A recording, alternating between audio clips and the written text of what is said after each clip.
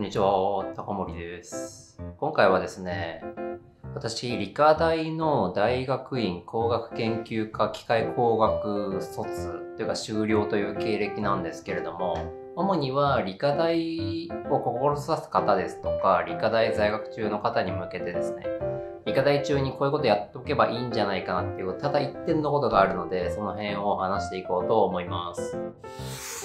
で何をすべきかっていうことなんですけどこれはかなり明確にあって研究活動に力を入れるべきということですね。研究活動っていうのはですねすごく自分の糧になることが往々にしてあるんですね。もちろん研究活動を通じて身につけた、まあ、特定の分野に対する専門性っていうところが社会人になってから生きるっていうこともありますしなんか研究っていうですねまあ一連のプロセスを経ることで自分の問題解決能力みたいな、まあ社会人でよく言う能力ですよね。とか課題設定力みたいな、いう能力がですね、てかですね、の素地がですね、かなり育まれるのかなっていうところもあって、研究活動は結構しっかりとやっておいた方がいいということです。まあ理科大に行くような皆さんですと、主には大学院まで行かれる方が多いと思いますので、だいたい3年からもうちょっとの期間研究に浸かると思うんですけど、そこはまあ腐らずにですね、自分の研究テーマに対してまっすぐ取り組んでいってほしいなっていうところがまあこれ結論というかこれ以上言うことないっていう感じですね。なので理科大行った人はぜひ大学4年からのですね、研究活動っていうところ自分なりに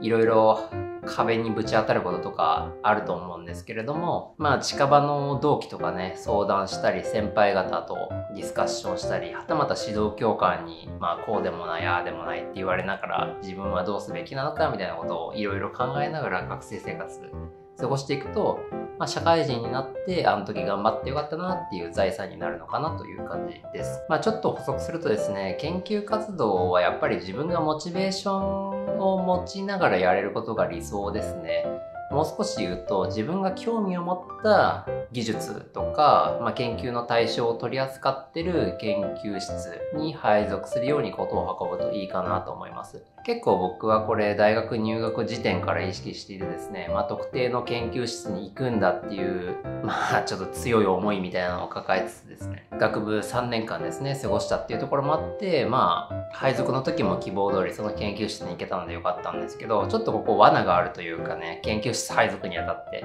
あるので、その辺ちょっと考えておくというか、補足しておくと、理科大の研究室配属って、まあ僕が聞く限りなんですけど、大体成績順に振られるんですよね。で、成績順は何を基準にというか参考にして算出されるかっていうと、学部1年から学部3年のまあ、成績ですね。どういう成績というか数値をベースか忘れたんですけど、確かテストごとに自分の偏差値みたいなのが出てるらしいんですよ。それをベースに、まあ、偏差値高い順に学部というか学科からね、上から並べて、まあ、上に行くほど自分の好きな研究室を先取りできるみたいなシステムなんじゃないかなと予想してるんですけど、まあ、おおむねそんな感じの成績によって選べる研究室っていうのが変わってくるっていうのがあります。でですね、やっぱこう、今後伸びていく分野を扱ってる研究室とか、金があっていろいろ研究しやすい研究室っていうのは、成績高い人がこう、かっさらっていくんですね。僕の代とかですと、結構この、まあ理科、超マイナーというか身内の話なんですけど、理科大の機械工学科っていうのはですね、あのーまあ年にもよるんですけど、人気なところ、人気じゃないところっていうところがはっきりしてまして、本当に僕の代っていうのはそれ特徴的で、もう上位の1からから10番目ぐらいの人で特定の研究室の枠埋まっちゃうみたいなね、2研究室ぐらい埋まっちゃうみたいなところがあって、もうそれ以降の、まあ、数十人ですよね。は研究室行きたいと思っててももう行けませんみたいな状況になったんで本当にそういうところを考えると成績っていうのは学部1年の頃から取っておくに越したことはないっていうことは言っておきたいですね。まあなんか単位取れればいいじゃんみたいなモチベというかムーブもできたりするんですけど理科大っていうのは結構実力主義っていうところを歌ってる大学でもありますし結構ね進学する方々の層が、まあ、真面目というかね勉強者きっちりこう取り組んでいく層が多いのであのー普通にしてるとというかよっぽど頭が良くないとかじゃないとテスト勉強をちゃんとやらないと結構下位の方に振られるっていうことになるので気をつけておいた方がいいんじゃないかなと思います。まあ、中堅次第みたいな理科大って立ち位置だと思うんですけど、トップ層っていうのはやっぱ頭いいんですよね。なんかこう運が悪くて上位の国立落ちちゃったとか、うん、なんか謎の経歴を持った人がいたりして、そういう人って本当頭いいんですね。なのでそういう人とも戦っていかなければならないっていうところも考えた上で、まあ、学部1年からね、3年研究室配属っていうところを見据えて、まあ、テストとかね、あの、取り組んでいくといいんじゃないかなと思います。まあ別に学部で就職するし、研究なんてどうでもいいぜっていう人は、